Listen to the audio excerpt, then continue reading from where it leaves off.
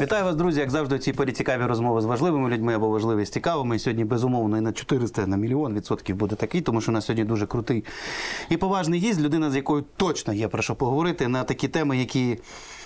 Дуже часто викликають срачі, але від того ці теми не стають менш важливими для проговорення. Ну але сьогодні у нас будуть і політичні, і історичні теми.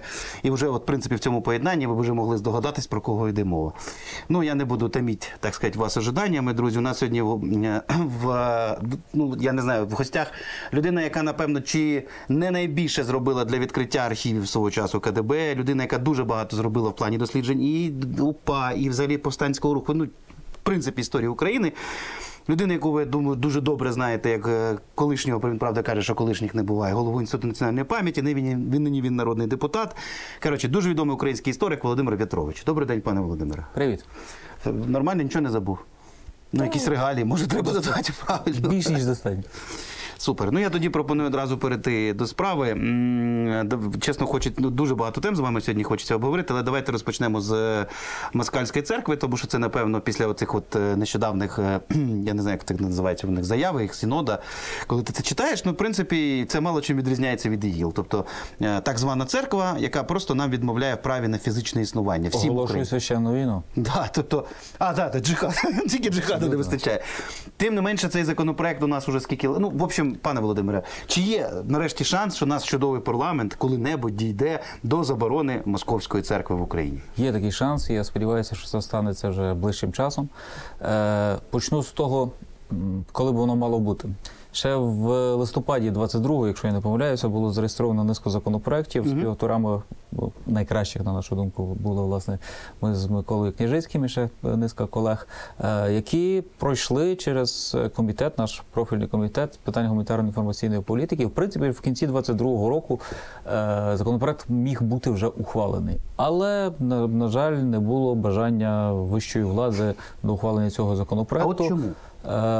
Чомусь вважалося, що це якісь додаткові проблеми створить, якесь непорозуміння в суспільстві. Давайте якось пропетляємо. Можливо, воно якось само е, розсмокчиться е, ця проблема. І це якраз я нагадую, що це було на тлі е, вже таких викриттів, просто які проводила системно проводила Національна служба безпеки України щодо участі не тільки якихось там попів локальних, а ієрархів цієї церкви в якихось тих чи інших інформаційних і не тільки інформаційних, часом фінансових схемах е, Росії в підтримці російської агресії. Тобто, станом на кінець 22-го року вже було достатньо е, задокументованих е, аргументів щодо того, що ця структура Російська православна церква в Україні використовується як агентурна мережа, використовується як Диверсійна певна мережа. диверсійна мережа, інформаційна мережа і так далі. і так далі, і так далі. Тобто всі підстави для того, щоб вже тоді ухвалювати цей закон, були. Але керівництво держави вважало, що давайте якось почекаємо. Потім стало зрозуміло, що почекати не виходить. Було рішення РНБО, на виконання якого уряд розробив свій законопроект. Ну відверто беззубий законопроект, за яким е, ми напевно би забороняли. Російську православну церкву в Україні ще з років з десяток, тому що треба було окремо через суд іти е, забороняти кожну парафію е, цієї церкви. Це понад 10 тисяч. Тобто це було би довго і нудно, і, і безрезультатно. Але Але, ви- навіть і цей законопроект дуже важко е, керівництво парламенту хот- е, не хотіло поставити в порядок денний.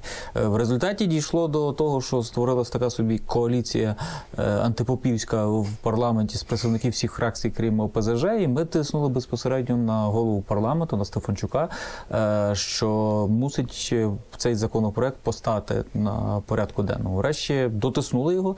Е, Ми вимагали всі законопроекти, в тому числі ті, де ми з Княжицьким, е, законопроект е, пані Ірини Костенкевич, тобто там ціл, ціл, як я казав, ціла низка законопроектів була. Поставили тільки урядовий. І навіть вже коли його поставили в порядок денний, навіть попри те, що на нашу думку він достатньо беззубий був, навіть вже в той день було бажання зупинити розгляд. Не знаю, хто там натиснув на Арахамія. Арахамія бігав по залу, що ні, давайте не будемо ставити, давайте відклад- відкладемо. Е, На що він отримав знову таки від нашої антипопівської коаліції е, конкретно погрозу, що в інакшому випадку ми просто блокуємо трибуну і жодні інші законопроекти не будуть розглядатися. На той момент були важливі, зокрема, європейські законопроекти. Тому ми дотиснули. Цей законопроект розглянули, е, і між іншим, ну навіть під під під бійку, яка відбулася в парламенті вперше за багато часу. От Нарешті. і Вибачте. так Е, і, ти- і, тим не менше ухвалили його в першому читанні. Попри попри кажу його беззубість, він все одно е, пройшов 263, здається, голоси, якщо не помиляюся, і це е, все одно був величезний крок вперед, тому що показало, що на жаль, оця Інформація е, на щастя, що ця інформація про е, дуже велику силу цього попівського лобі в парламенті вона перебільшена. Що насправді їх не так багато в парламенті, є, є сили і потенціал. Відповідно, після ухвалення цього законопроекту ми дійшли в себе на комітеті до дуже правильного рішення, яку підтримали всі представники всіх фракцій, які є в нашому комітеті. Що його треба переробляти, е, що його треба доопрацьовувати і наближати до тих законопроектів інших, імплементувати ті інші законопроекти, які, на жаль, не розглядалися. Це зайняло часу, справді. Тобто, це зайняло десь півроку роботи, і зараз ми вже на фінішній премії вже маємо рішення комітету, і е, зараз маємо ще деякі зауваження від нашого юридичного управління, які ми. Думаю, ближчими днями просто врахуємо, і тоді вже жодних підстав не ставити цей законопроект на порядок денний точно не буде. Я впевнений, що ситуація вже назріла, перезріла.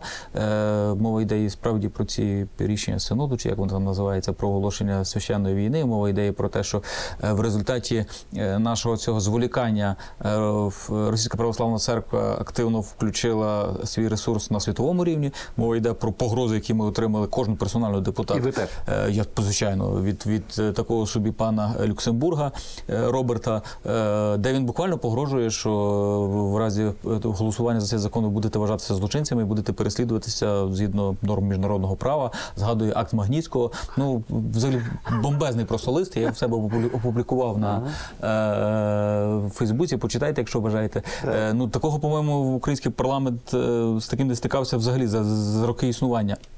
Українського парламенту. Тому зараз е, я вважаю, що знову черговий раз дуже дуже назріла е, потреба, і дуже сподіваюся, що е, не буде бажання уникнути цього. Як тільки він потрапить в порядок денний, я впевнений, що там вже знайдеться Будуть голоси? сил, щоб дотиснути так. Навіть серед слуг народу. Е, серед цієї, як я називаю її умовно антипопівської коаліції, багато активних слуг народу. У нас на комітеті вони становлять більшість, і е, в нас на комітеті однозначна підтримка, одноголосна підтримка е, цього законопроекту. І навіть Юрій Павленко, який колись представляв ОПЗЖ, теж є серед тих, хто підтримує цей, що, цей, Юрій цей, цей, законопроект. Ну хто да, хто б сумнівався. Я єдине, що хотів уточнити, дивіться, наскільки я пам'ятаю позицію, е, боже, я постійно забуваю це назву цього нашого регулюючого Державна служба з етнополітики і свободи совісті ДЕС його Так. скорочують. Ну, А, ТЕС.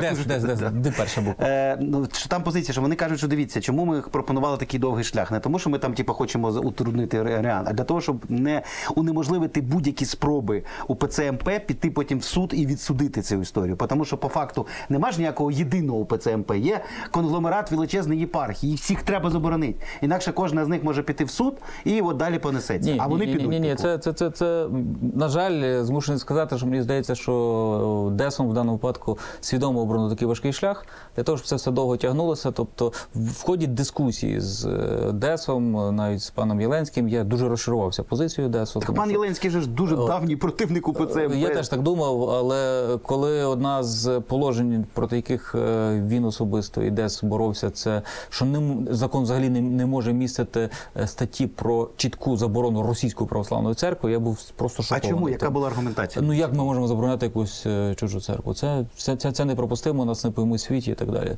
Тому е, це? не, не, не виглядало е, ця позиція конструктивна насправді, тому що ну навіть по суті роботи, тобто я ж не говорю по. По формі роботи, скажімо так, я ж не говорю про суті їхніх зауважень.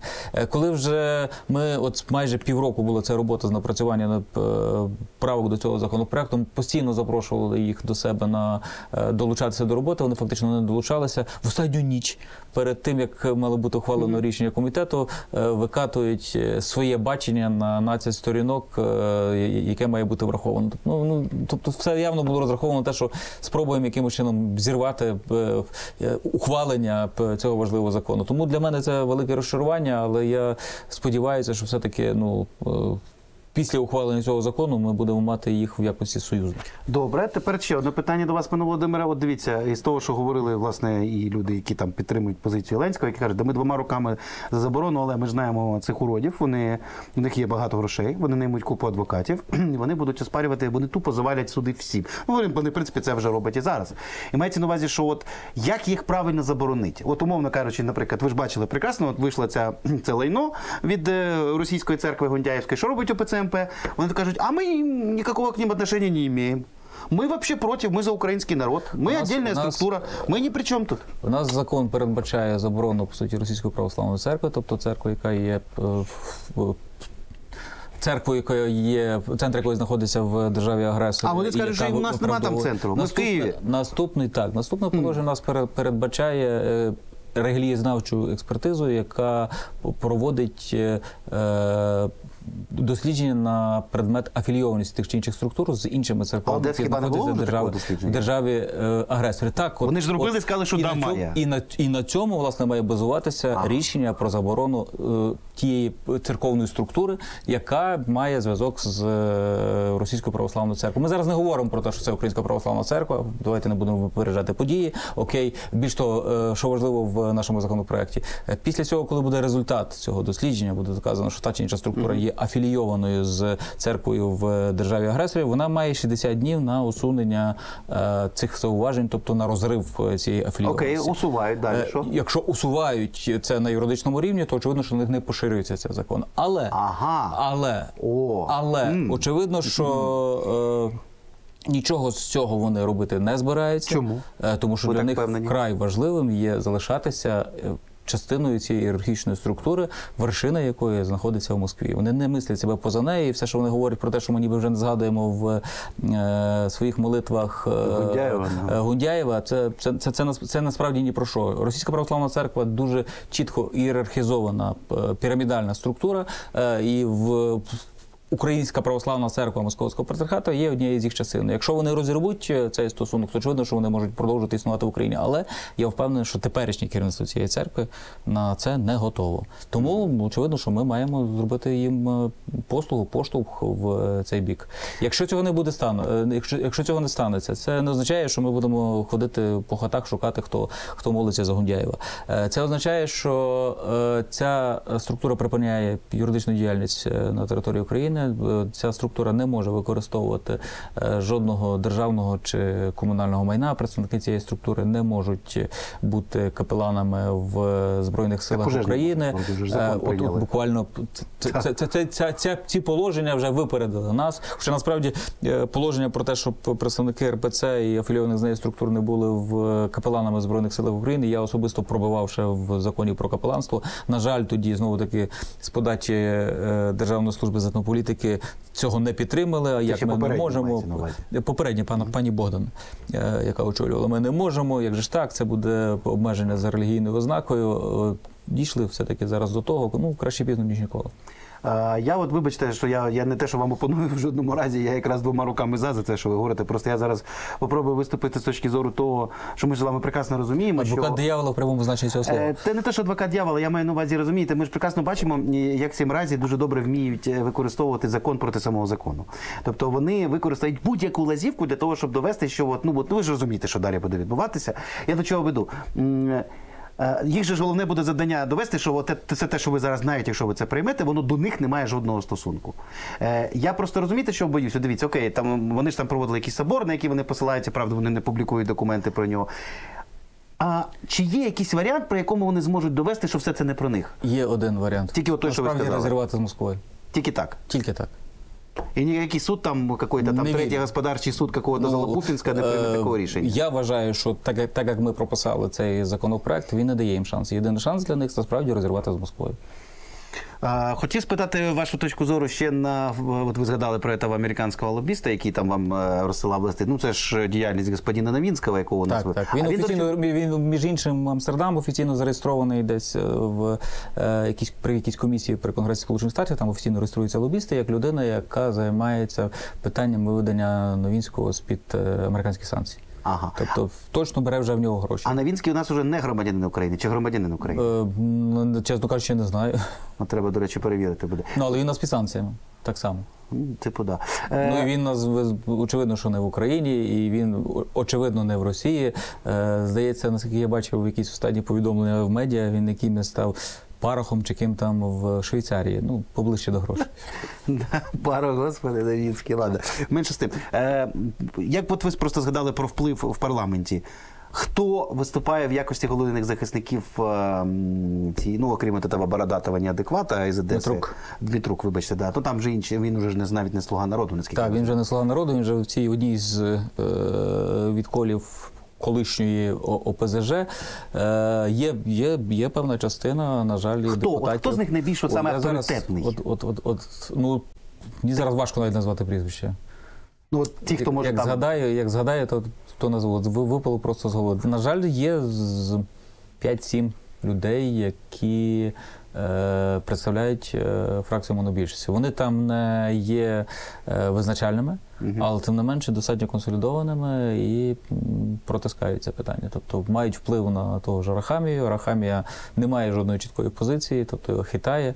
От. Ну, нашим завданням буде його хитнути в правильний бік. Е, і от ну, то так, щоб підсумувати цю тему, е, ну тобто, е, окрім цього, Але є, я і кажу, завзяті борці з Російською православною церквою, теж Нікіта Потураєв, абсолютно наш союзник в цьому, депутат з Рівненщини Олексійчук, абсолютно наш союзник в цьому. Тобто, ну, фактично в всіх групах, фракціях за майбутнє можемо опиратися. Там Ігор Гусів, Голосі, звичайно, тобто, Юлія Клименко і так далі. Тобто, тобто, фактично в всіх фракціях у нас є тверді союзники. От е, просто щоб підсумувати цю тему, просто хочу зрозуміти. Е, оце склав список для анафем. да, ну, Фима, да, це на задньому плані треба було запустити. Е, Майно, оце напевно найбільше питання. Наскільки, як вам здається, прийняття цього закону допоможе швидко забрати у ПЦМП все державне майно? Понятно, Державне? Хоча б державне. Зразу, звичайно. Державний і комунальний. Тобто, от автоматично, їх можна буде нафіг від Так. хоча б з Почаївської лаври викинути. Так? От, а от мені просто цікаво, як це фізично можна, ну тобто, от як з лаврою, чи А, як ну, ну, ну це- ви ж розумієте, які карти, яка картинка буде з одного боку пофіг, з іншого боку не пофіг, бо в Америці будуть бігати ці лобісти на ній ті розказують. знаєте, от про, про бігати в Америці. Е, співпало з іншою дурною ініціативою влади. Перша дурна ініціатива це затягувати з ухваленням цього закону, а друга дурна ініціатива це обмежувати міжнародну діяльність депутатів. Так от, е, допоки ми е, топчемося на місці, е, всякі там Люксембурги і так далі активно працюють з конгресменами. І е, я вважаю зараз злочинним те, що керівництво парламенту навіть не думає про те, щоб відрядити якусь групу депутатську. Боїтеся відправляти опозицію, знайдіть свої- своєї фракції тих людей, які нормально можуть пояснити, що є в цьому законі, чого в ньому немає, щоб безпосередньо комунікувати з американськими депутатами, яким це закон змальовують як такий, що нібито може загрожувати е, антихристиянський, нібито може загрожувати протестантським спільнотам в Україні. Попри те, що е, протестантські спільноти, протестантські церкви це ті, які якраз страждають зараз від російської православної церкви в Росії, від російської православної церкви в Україні, від Росії і агресії. Тобто маємо безліч фактів, які треба просто викладати. Але цього не робиться. Цього не робиться, і там буяють міфи розліва Новінського Люксембурга. А ну от е, мені просто цікаво взагалі, от ну я розумію, що це не до вас питання, звісно, а до слуг народу. А яка позиція, може, ви чули там е, якісь чутки, там сорока на хвості принесла в залі? А яка позиція нашого керівництва? Окей, от вони ж зараз навіть Трофімова вже остаточно вигнали, главного любителя.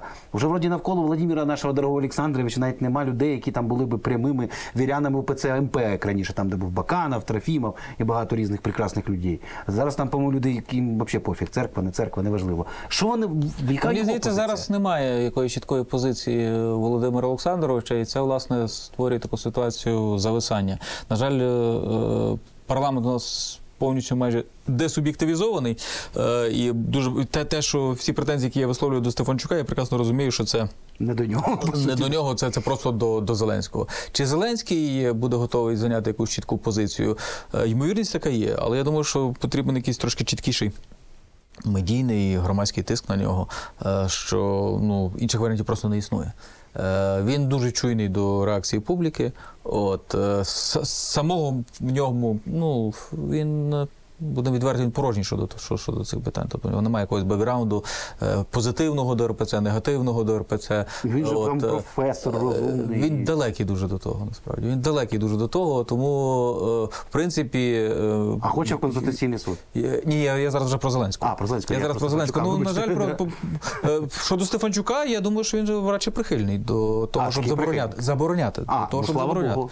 От, але він не зробить ані кроку, поки, поки не буде відповідно зеленого світла з вулиці Банкової. Тому ще раз я думаю, що треба комунікувати і на президента Зеленського з боку громадськості, з боку медіа про необхідність, неминучість е, і невідкладність ухвалення цього закону. І от, напевно, так, е, останнє вже підсумовуюче питання по цій темі. е, ра- Раз уж ми задали про Америку. У нас там дійсно дуже великі проблеми через абсолютно повністю провалену комунікацію, і не тільки з сенаторами, конгресменами. Ми, ми просто, якби там я займаюся англомовним Ютубом, і до нас приходять величезна кількість людей, абсолютно прихильних до України, які питають: ну ви ж там, типу, християнство хочете заборонити? На Ну, повному серйозі це Слухайте, коли, коли у нас державні гроші на іномовлення йдуть на розва- російськомовну розважаловку від Freedom, яка тепер нібито стає україномовною, від того не стає розумнішою. От е, ну то, то, то, то що ми дивуємося? Коли ще перед початком повномасштабу ми казали, що категорично не можна ліквідовувати іномовлення, нам треба говорити зі світом, нам поки треба думати якийсь додатковий ресурс. Ну це просто було один з етапів. Роззброєння України, так само як скорочення якихось там ракетних програм і так далі. Тобто, це, це, це в тому самому ряді, на жаль, може бути поставлено. Але здавалося, після повномасштабного вторгнення вже якесь розуміння того, що ну принаймні зброю давайте будемо пробувати виготовляти, е, повертатися до того. То тут з інформаційною якоюсь політикою ну все просто катастрофічно, тому що е, віра в те, що е, з меседжами і форматами е, єдиного марафону можна щось розповісти світові, ну, вона ні про що. Тобто, це як на мене, от ситуація з Каховської ГЕС. Просто прекрасно показала, що е, от єдиний марафон на світ не має ані найменшого впливу. Не можна таким чином працювати, тому що це повний провал інформаційного фронту. В даному випадку е, я розумію, що люди не люблять зараз порівняння чогось з військом, але тут це справді інформаційний фронт, який є невід'ємним елементом е, цієї війни, і його провал неймовірно негативно впливає на все, включно на бойові дії. Бо то- то- тому, що якщо американці будуть впевнені, що тут забороняють християнство, це, це напряму в- конвертується в затримку нашої допомоги. Затримка допомоги конвертується в відсутність боєприпасів, відсутність боєприпа- боєприпасів, на жаль, конвертується в те, що наші військові змушені відступати. Да, до речі, з приводу те, що ви згадали, що з приводу відрядження, ну це ми далі поговоримо в другій половині, якраз про вже більш політичні речі. Але мені просто дуже цікаво. От е, пан Стефанчук, коли от в приватних бесідах, він взагалі розуміє, що він коїть? Ну от як це виглядає? Я думаю, що так. Тобто він Ні, розуміє, він, він, ні, слухайте, ну він насправді він фаховий юрист. От е, він розуміється на праві, але в, нього зараз є одне джерело права в країні, тобто це Володимир Олександрович. І він, от е, він розуміє, він тобто йому ок, як людині, яка збирається е, не те, що чутками, він по це не сильно приховує, що він хоче головою Конституційного суду стати. Е, тобто йому ок, що людина. Так себе поводить з точки зору, навіть е, ладно, погана позиція, окей, менше з тим, так вони ж навіть своїх не випускають. От що характерно. Він поводить себе так, що вже навіть європейські органи починають про Я це думаю, прямо що, говорити. я думаю, що Руслан Стефанчук опинився на посаді спікера не завдяки своїм знанням юриста, які в нього безперечно є, а саме завдяки такій своїй твердолобій лояльності до президента. Тобто е, Зеленський був впевнений, що ця людина, яка буде виконувати те, що він йому скаже. От він не був впевнений і почав сумніватися дуже швидко в Разумкову, е, що цей за- занадто розумний і занадто хитрий може, може грати якусь свою гру. Е, Щодо Стефанчука, він впевнений, що Стефанчук буде виконувати цю місію. І Стефанчук з свого боку, ну напевно, думає, що місце в Конституційному суді це те, що він якраз заслужив за, за, за, за, за вірність государю. Тобто я до того веду, що виходить.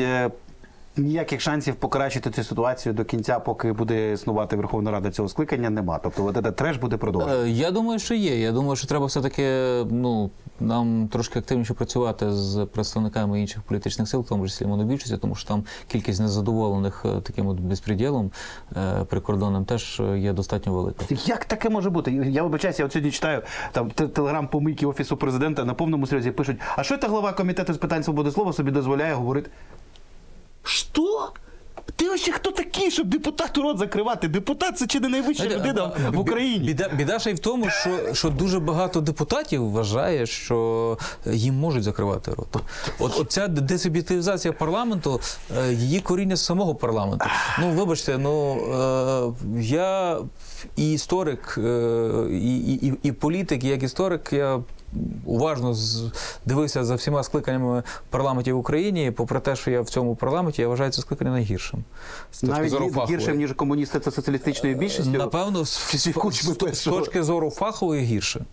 Мова йде про освіту, мова йде про розуміння, що таке держава, як вона працює. Тобто ідеологічно, звичайно, що там були гірші люди, О, тому що вони не хотіли української держави, е, хотіли не, не хотіли там е, інтеграції України з Заходом і так далі. І так далі. Але з точки зору професійності, е, ну це дуже низький кваліфік- кваліфікаційний рівень цього парламенту, який призводить до того, що ці люди, ну, із грязі в князі.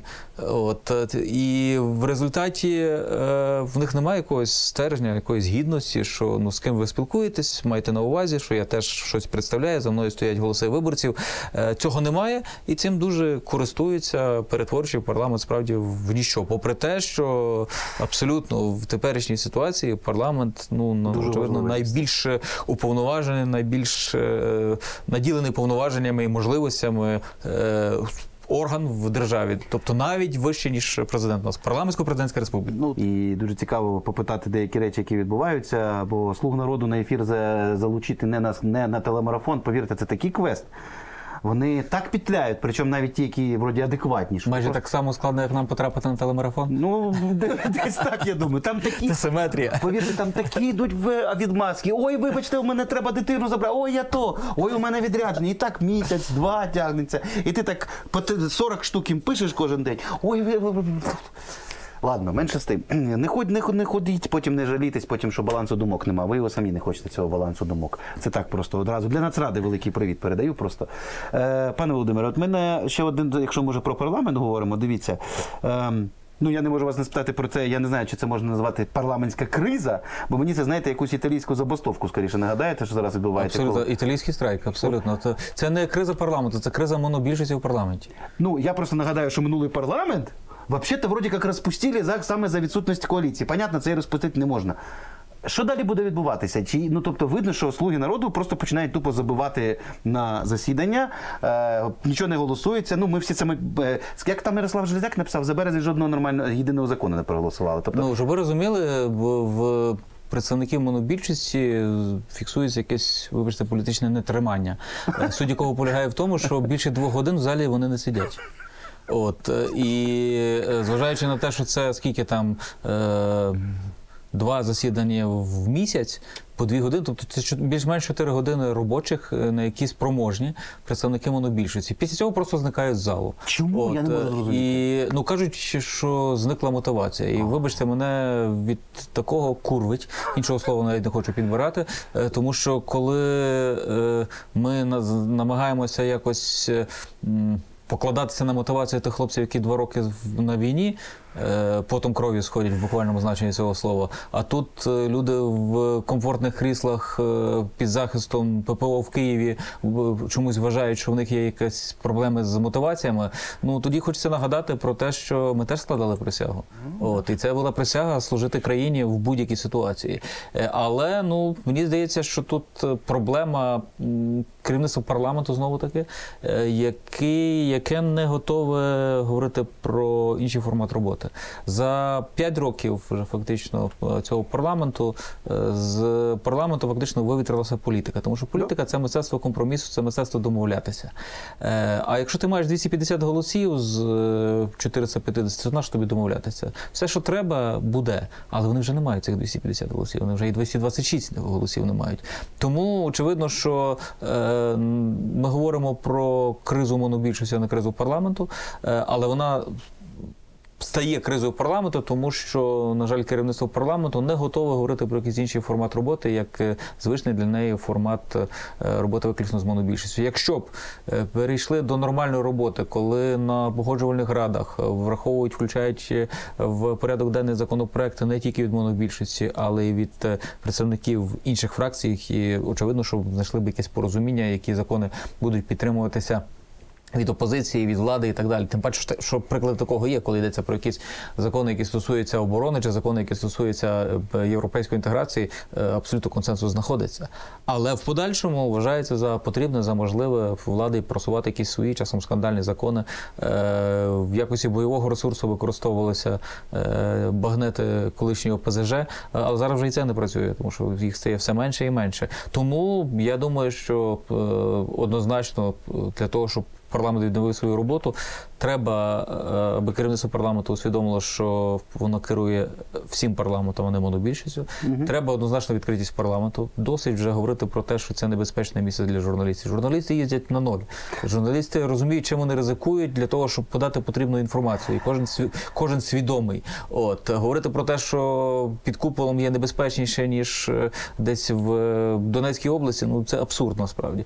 Друге, очевидно, що ми повинні поновити трансляції Верховної Ради, тому що оця закритість парламенту від журналістів, від е, трансляцій, ну призвела до, до повного розбещення народних депутатів. Це не робота, це тобто це базар, який абсолютно не нагадує якийсь законодавчий орган, де можна щось обговорювати, де, де, де можна щось ухвалювати.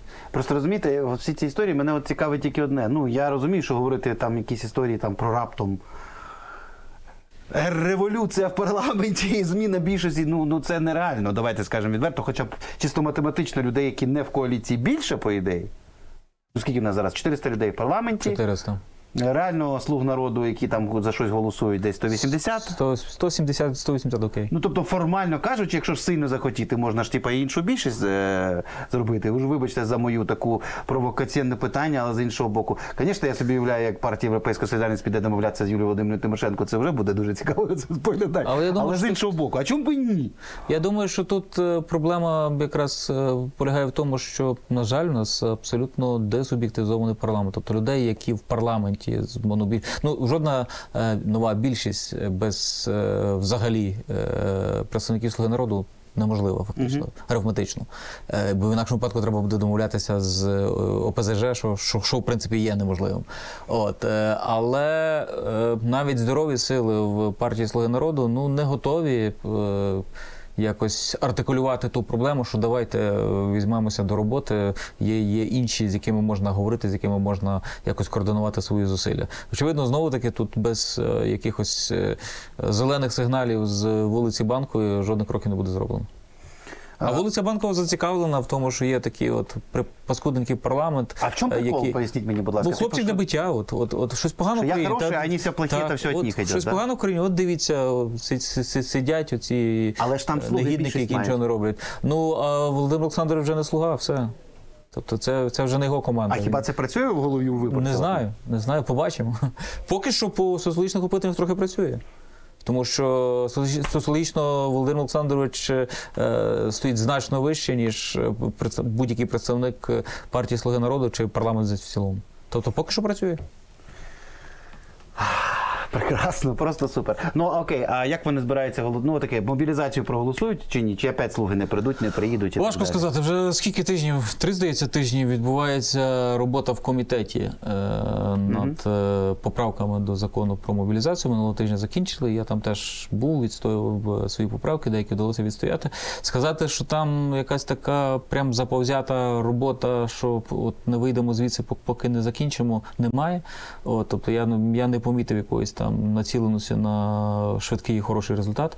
Е, і мені здається, що це. ключова помилка, стартова помилка з законом про мобілізацію. За якою знову стоїть Володимир Олександрович Зеленський, сьогодні бачите, багато його згадуємо. Вона зараз просто мультиплікується. Я маю на увазі, що е, мобілізація дуже важливе питання. Мобілізація це питання, яке стосується не тільки війська, не тільки Збройних сил України, це стосується економіки, соціальної сфери, це стосується справедливості і так далі. І тут очевидно, що президент, як е, формальний лідер цієї країни, і як людина, яка політично має очевидно найбільший е, рейтинг в країні, мав би все-таки пояснити людям, навіщо навіщо мобілізація, чому потрібна нам мобілізація. Е, Він сховався від цього. Очевидно, що якісь е, політехнологи сказали йому, що ця тема токсична, і воно може погано відобразитися на його рейтингу. На жаль, Володимир Олександрович досі думає дуже часто саме через призму рейтингів. І він е, цю тему як гарячу картоплину кинув на військових, військові на Кабмін, Кабмін на депутатів. І воно так і досі кидається з інституції в інституцію, і ніхто не готовий взяти на себе відповідальність е, для того, щоб сказати, що має бути в цьому законі, чому має бути цей закон, і яким чином власне має бути здійснена мобілізація в Україні. А це дуже неправильно насправді, тому що. Е, це, це дуже чутлива тема, і тут якраз би мав проявитися, як на мене, лідерський потенціал е, президента Зеленського. А для нього важливість все-таки, напевно, не лідерство, а рейтинг. А, от ще одне питання політичне, я обіцяю до історії перейдемо, але ну не можу не спитати, бо я от сьогодні зраночку опять постік Маріаші Безугли почитав. А для мене це, як би сказати, головний маркер того, що шиза продовжує крепнути е, в головах офісу президента. Тобто люди, які самі на рівному місці створили проблему з так званою нелегітимністю Зеленського, якої звичайно не буде. Абсолютно. Абсолютно, це бред собачий. Ніхто, ніх, ніхто навіть з, з дуже завзятих опозиціонерів, які з радістю покопали б. Володимира Олександровича, не піднімає цієї теми. І тим не менше вони самі її продовжують підпушувати. Мало того, у мене здається таке враження, що вони реально істерять з цього приводу. З вашої точки зору, чому вони не могли е, банально піти в Конституційний суд, який би просто автоматом виніс би рішення і зняти це питання? Ще півроку тому? І взагалі не давати Росія, реально Росія, яка вже почала цю тему дійсно розігрувати по повній програмі. Чому? Богдан, що дивіться, я- відбувається? мені здається, що е, Росії не вдавалося розкачати цю тему до тих пір, поки е, цю тему не під не почали підхоплювати якраз ця все інформаційна прослуга Володимира Зеленського. Ви- ви я не знаю. мені. Тобто, як на мене, смисл в цьому? можливо, можливо, там справді якісь внутрішні глибинні страхи, але це абсурд, тому що ніхто з притомних і навіть непритомних Абсолютно. опозиціонерів не піднімає цього питання про нелегітимність е, президента Зеленського. Легітимність президента Зеленського завершиться в той момент, коли буде буде е, Присяга наступного президента, Присяга наступного президента. Крапка. Більш того, в Україні ми вже мали прецеденти, коли е, попередній президент е, продовжив свої повноваження. Мова йде про президента Леоніда Кучму через третій тур Так, е, так. виборів в 2000 2004 році. Тобто всі прекрасно розуміються. І я не знаю, можливо, це моя якась інформаційна бульбашка, але ті люди, з якими я спілкуюся, а я не відчуваю жодного якогось Абсолютно. запиту в суспільстві, що все вже зараз і негайно. Так і нащо? тому, Нащо? тому, я, Чому? тому я тому я неймовірно знаєш, здивований, що оці всі довкола президентські якісь е, канали якраз навпаки починаються ка- ка- хто скаже русський агент, так ви ж самі про це говорите. Ніхто, окрім вас, про це не говорить. І Русня тепер почала це підхоплювати, бо ви ж їх згадали, а вони такі, а окей, ми пас Ну, приїли, там, погнали. там, там насправді інформаційних факапів е, довкола президента Зеленського безліч. Оця вся історія з Майданом 3 Я розумію, що окей, е, ну російська інформаційна пропаганда може використовувати такий термін, але коли він йде з боку знову таки офісу президента, ну це абсолютно неприпустимі речі. Ну, чесно, це як пан Андрій Магера сказав. Незбагненно. Я просто чесно, ну тобто ви самі собі створили проблему і самі її накручуєте. Ви можете перестати це робити. І перестаньте це прикладати на плечі когось іншого. Ви самі це робите, ніхто інший. Ладно, все, я обіцяв про історію. Давайте про історію, бо пан Вітрович це прізвище, яке я ж я йому чесно скажу, от дуже весело з моїми всіми польськими друзями піднімати на прапор. В тому сенсі, що вони починають зразу сатаніть, потім ти починаєш з ним говорити, вони кажуть. Так, а в чому проблема? Кажу, ну так це ви мені скажіть, в чому проблема? Це ж у вас Вітрович страшний враг. Е, Та немає вже Ятровича, але бачите, а ви проблема не вирішується. Ну, звісно, ви ж бандеруєць головний і людобуєць, напевно. напевно. Але от я вас, як історика, дуже не не можу не спитати. Окей, я зараз навіть не про там економічні моменти, це само собою. От все то історична історія, от там що у нас там нещодавно зустрічався Шмигаль з. ем, Боже, з паном Туском і так далі. І там якийсь протокол вони підписували історичних. Як, як це в них там називалося? Історичних не- не- де- чи, чи конфліктів, чи як ну ви пам'ятаєте, так? В чому взагалі проблема? Я, я чесно, я ніяк не можу зрозуміти. Особливо ну, ми ж з вами говорили Проблема- про ці поховання. Що за бред? Проблема в тому, що для польських політиків, е, на жаль, як бачимо, навіть не з одного табору, яким був піс, але й з всіх таборів, е, в мене враження, що невирішеність питання е, цих пам'ятників поховань. Е, Є оптимальною, тобто їм подобається що це питання не вирішене, щоб, щоб вони могли себе бити п'яткою в груди, розповідати про те, як ми боремося за те, щоб, врешті-решт, в Україні дозволили вшанувати е, всіх загиблих е, поляків. Насправді жодних жодної потреби в вирішенні цього питання на рівні президентів, прем'єр-міністрів, навіть міністрів культури немає. Це питання давно. Я про це завжди говорив в своєму візаві з польського інституту національної пам'яті. Ще десь коли коли воно тільки актуалізувалося у 2017 році, коли почалося руйнування е, українських могил на території Польщі. От що е, це питання могло бути вирішено на рівні нас, керівників українського і польського інституту на- на національної пам'яті, але е, воно приносить значно більше дивідендів польським політикам, як не вирішене, тому що. Перед кожними виборами кожен з них рве на собі Волинь. сорочку, що так, що от е, е, сволочі бандерівці не дають нам е, е, поховати своїх рідних близьких, а ми ті, які тільки прийдуть до влади і зразу це питання, зразу це питання вирішать. Ага. Насправді жодних проблем немає. Це, це все це можна абсолютно вирішувати. І е, ну, тривалий час справді е, демонізували мене, представляли, що я нібито стою на заваді вирішення цих проблем. Я вже 5 років не на посаді, а віси нині там. Тобто ані найменших якихось спроб вирішити цю проблему з польського боку. Немає. Тому, тому, тому вона, на жаль, залишається. Але проблема навіть не в тому. Проблема, що ця невирішеність цього питання, це е, бажання якось протискати тільки своє бачення, тільки свою позицію. От е, е, українці тільки винні, поляки тільки жертви, ви маєте тільки каятись, ніякого взаємного прощення. Тобто, оця от е, комунікація, яка вже 15 років артикулюється з польського боку на, на, на найвищому рівні, вона ж теж відбувається на тих навіть конкретно Ну, економічних питаннях. Тому що якщо е, українці такі підлі сусіди, що вбивали наших предків, значить їм не можна довіряти. От якщо українцям можна нав'язати своє бачення історії, то чого їм не можна нав'язати, що вони мають бути такими ж, як ми, як ми хочемо, і в економічних питаннях. Оця якась відсутність позиції, тривала відсутність позиції з українського боку в цих питаннях, ну вона просто ну розкачала апетит в наших е, сусідів, що з українців можна вибити все, що нам треба. І на жаль, вибивали. Ну, слухайте, на, на, на такий далекий час, коли, коли там 2013 рік, здається, та е, 150 депутатів Верховної Ради зверталися до польського сейму з вимогою визнати акції українських націоналістів геноцидом проти поляків. Тобто, ну і тодішній представник е, більшості в парламенті Колісніченко їздив в польський сейм, там його вітали. От той самий Колісніченко, який зараз громадянин Російської Федерації і так далі. Тому е, так, тут навіть це історичне тло. Має свої е, резонанс в, сьогоденні і в сучасності. Е, в, в цих питаннях історичних, в питаннях економічних е, з обох боків, на жаль, більше з польського боку, ну просто бракує якихось відповідальних політичних еліт.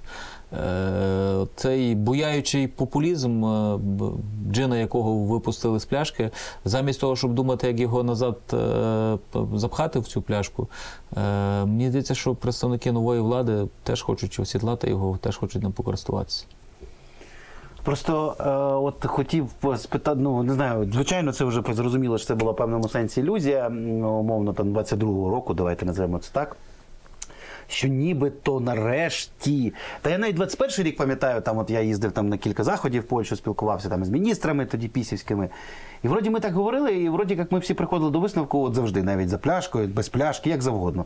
е, Що ну давайте ми нарешті дійсно заховаємо наших покійників і займемося майбутнім. Ну тому що завжди, коли Україна і Польща б'ються, виграють від цього тільки русські, ну і хто там ще з іншого боку. от, от це, от насправді, якщо і вони про- казали, да-да-да, ми все це розуміємо. Якщо говорити про історію, оце головний урок історії. Так, а Коли от- українці і поляки б'ються, користається Росія. І от ви знаєте, це те, що ми маємо засвоїти. О, і от ви розумієте, у мене була ілюзія, скажу вам відверто, скільки я з ними спілкувався, навіть в 21-му році, і в 22-му році, що ну нарешті вони це зрозуміли. А потім приходить 23-й і поніслась те, що ми бачимо. але зараз. 22-й рік насправді продемонстрував, що ну глибинно десь в польському суспільстві немає якоїсь масштабної українофобії, що е, поляки готові приймати українців. Тобто, це, це, це була абсолютно щира реакція, правильна реакція. Е, інша проблема в тому, що певна частина польського суспільства, яка більш вороже налаштована до українців, вони є активнішими. І тому вони є дуже спокусливим для використання їх в політичних іграх. Вони мобілізовані, тобто ті так звані красов'яки, тобто вони є ті, які можуть зробити вибори.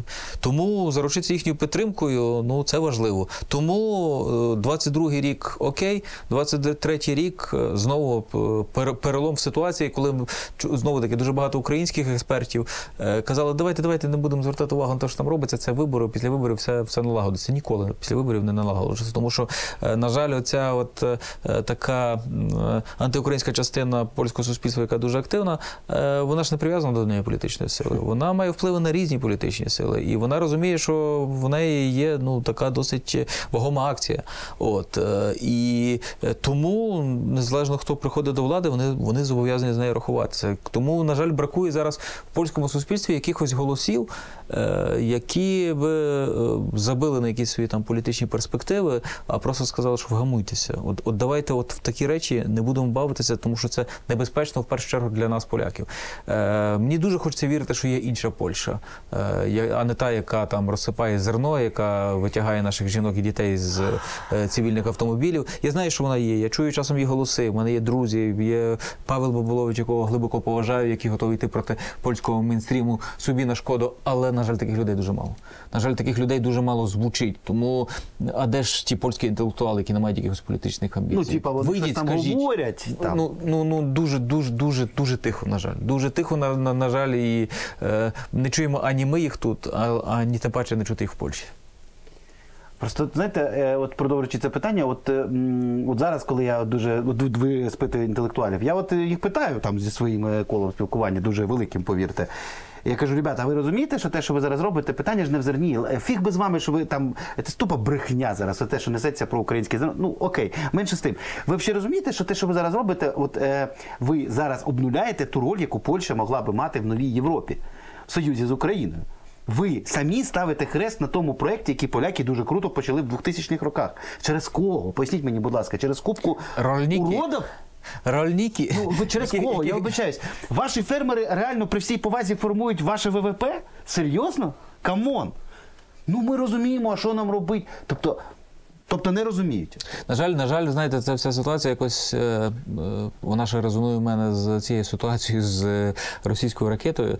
Е, вона показує, що в- ну, в польському суспільстві зараз домінує бажання закривати очі на проблеми. А це дуже небезпечно. Ми, ми, ми закривали очі, і мені хотілося вірити, знаєте, що от е, подивившись на українців, які дозакривалися очі до, до, до того, що ми зараз е, втрачаємо близько 20% своєї території. е, Наші інші сусіди мали би бути набагато більш пильними, але на жаль, наш досвід бачу не, не дуже то переймається е, нашими сусідами. Тобто виходить, що у нас і зараз по факту немає ніяких е, каналів впливу на поляків. Ми навіть нічого змінити не можемо. Чи Я як? думаю, що треба щось думати. Треба вибудовувати якісь канали, не знаю, якщо не на політичному рівні, то на якомусь на громадському рівні. Тобто шукати якихось е, е, союзників, е, які, які готові будуть про це говорити, які готові говорити, говорити якісь непопулярні речі. Тому що дотеперішня е, сподівання на те, що зміна влади в Польщі, прихід е, до влади Туска кардинально щось змінить, ну воно вже не спрацювало, це вже зрозуміло. Що, Ну, ви бачили, що воно про- вже і не спрацює. Так ні, ви знаєте, це навіть польська преса про це починає писати. Я їх дуже уважно читаю, як це товариш Колодзійчак.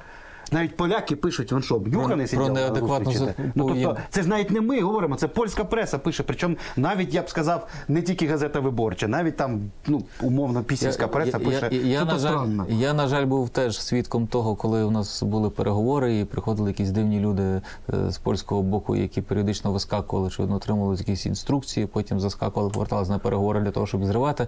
Тобто, от ця ситуація, коли я прочитав про неї, е, що це відбувалося на рівні уряду, мені дуже нагадало те, що відбувалося у нас в форматі е, польсько-українського форуму істориків, коли, на жаль, навіть деякі з істориків, які брали участь в цьому форумі, е, в один якийсь момент прийшли для того, щоб просто все зірвати.